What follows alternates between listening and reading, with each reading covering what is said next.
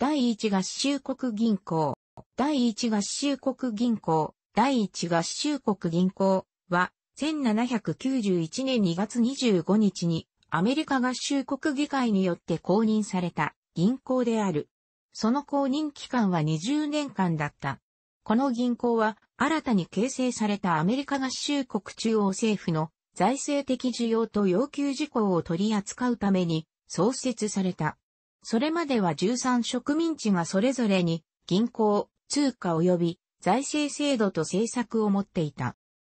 正式には財務長官アレクサンダー・ハミルトンが1790年アメリカ合衆国議会第一回期の最初の総会に提案し、この銀行の概念は北部の商人やニューイングランドのいくつかの州政府の中にその指揮番と起源を持っていた。しかし、南部州はその主要産業が農業であり、中央集権的な銀行を要求せず、州の権限意識や北部の動機に対する疑念が強いものであり、その大議員からは大きな疑いの目を持って見られた。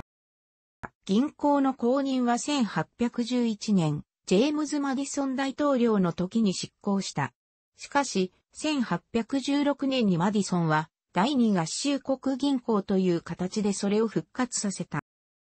18世紀の最後の10年間、アメリカ合衆国には3つの銀行があったが、50以上の異なる通貨が流通していた。イギリス、スペイン、フランス、ポルトガルの貨幣や紙幣が、州、都市、辺境の店舗及び大都市の事業化によって発行されていた。これら通貨の価値は恐ろしく、不安定であり、それによって政治的には無関心な通貨投機化が不確実さで儲ける天国になってた。さらに、貨幣価値や為替レートがほとんど常に、それを受け取ることに合意する両者の間で無効だったり、知らなかったりしており、特に海岸から離れた地域で甚だしかった。また、距離や未発達な道路及び通信技術の欠如のために貨幣価値が知られていないだけでなく知る術もなかった。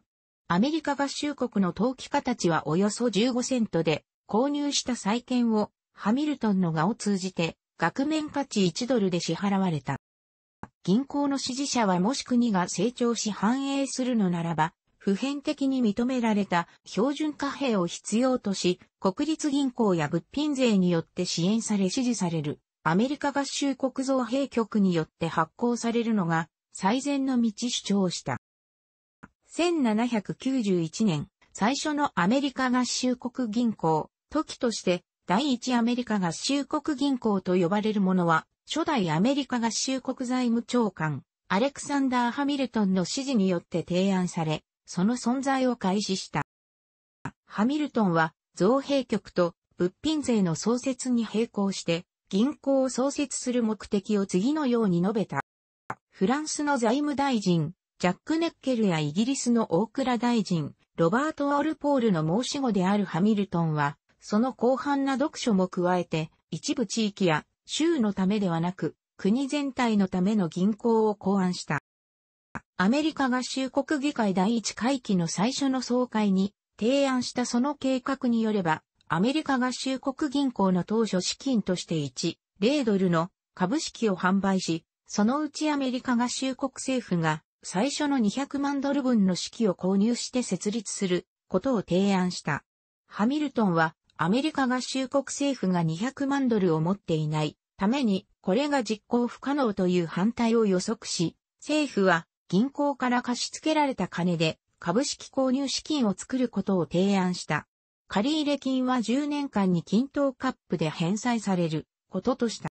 株式の残り800万ドルは合衆国内及び海外の大衆が購入できるものとした。この非政府購入について主要な要求事項は価格の4分の1は金あるいは銀で支払うことであり、残りは債券や受容できる紙幣などで支払い可能とした。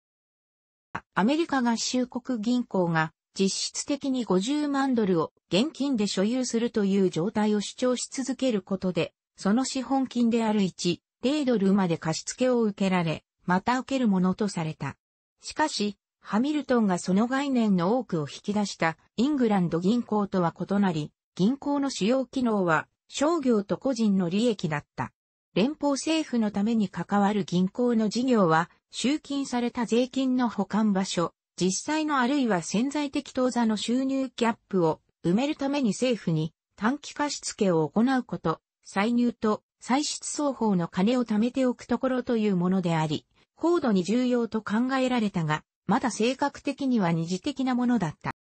アメリカ合衆国銀行の設立には、その他に譲れない条件があった。それらは以下の通りであった。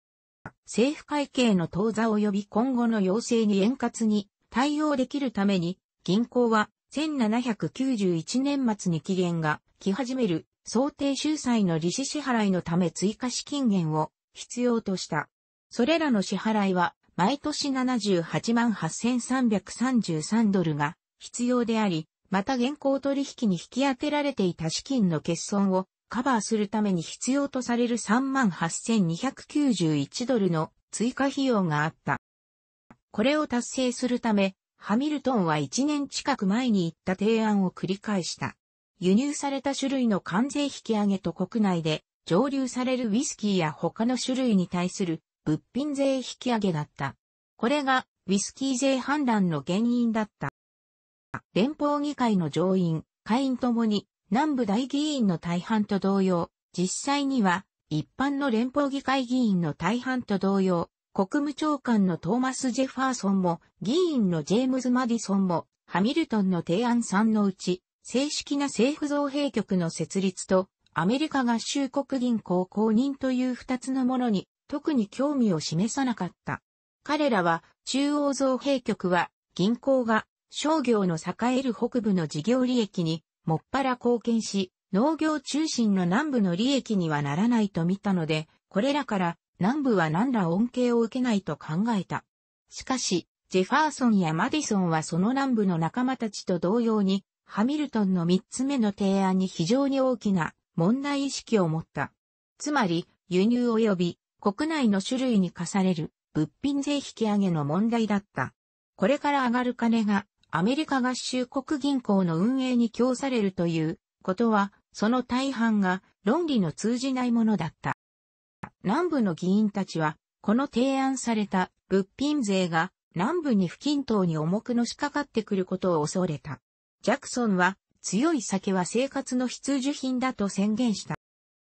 法案の最初の部分、国立造幣局の概念と設立については、実際に反対に合うこともなく成立した。2番目と3番目の部分、銀行と物品税も同様に成立するものとみなされ、実際にそれぞれ成立した。法案の会議案はいくらか熱い反対もあったが容易に成立した。法案の上院案も同様であり、かなり少なくより温和な反対があっただけだった。この時、二つの法案が両院で違う複雑な状態になった。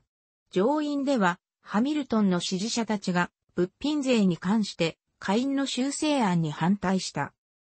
ハミルトンは銀行法案を議会で通すために議員の何人かと合衆国の首都をフィラデルフィアからポトマック川岸に移す運動を支援するということで取引を打った。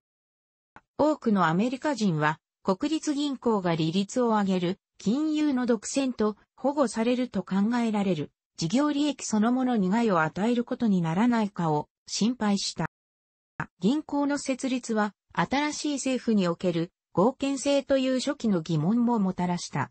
当時財務長官だったハミルトンは銀行が憲法で示唆されている政府の権限を確立する有効な手段だと主張した。国務長官のトーマス・ジェファーソンは、銀行が伝統的な財産法を侵害しており、憲法における権限との関連性は弱いと主張した。結論は最終的にジョージ・ワシントン大統領に委ねられた。ジョージ・ワシントンはアメリカ合衆国大統領としての任務を行うこと、すべてで前例を作っていることを認識しており、銀行法に署名して、法として成立させることを躊躇した。ワシントンは全閣僚から文書で意見を提出させた。中でも、ハミルトンの意見を重視した。司法長官で、バージニア州出身のエドムンド・ランドルフは、この法案が違憲だと考えていた。ジェファーソンもバージニア州出身だったが、ハミルトンの提案は、憲法の精神にも文章にも反していることに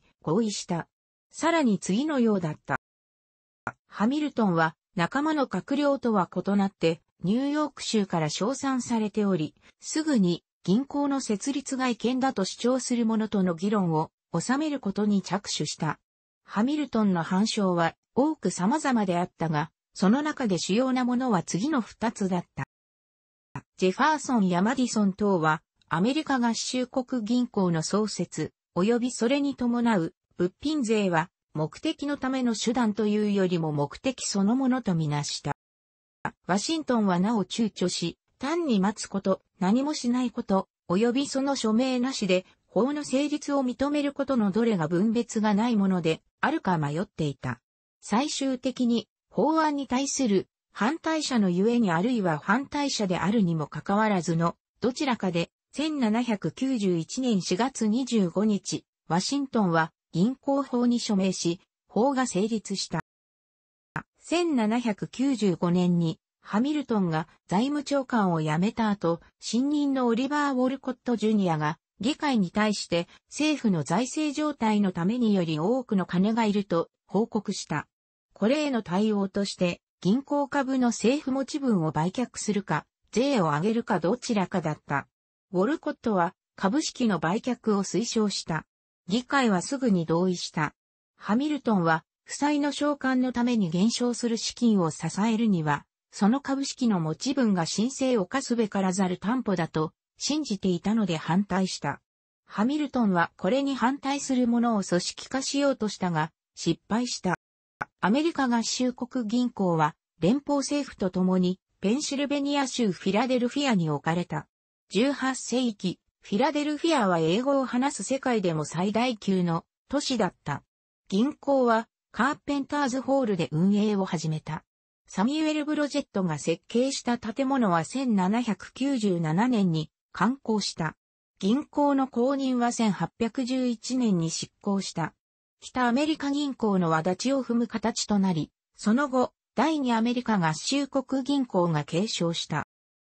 元第一アメリカ合衆国銀行の建物は、1987年5月4日に国立歴史史跡に登録された。2007年8月7日、フィラデルフィア南北戦争及び地下鉄道博物館が2010年までにこの建物に入ると声明を出た。フィラデルフィア市長ジョンカイストリートは、その移転の援助のために120万ドルの小切手を博物館に贈呈した。楽しくご覧になりましたら、購読と良いです。クリックしてください。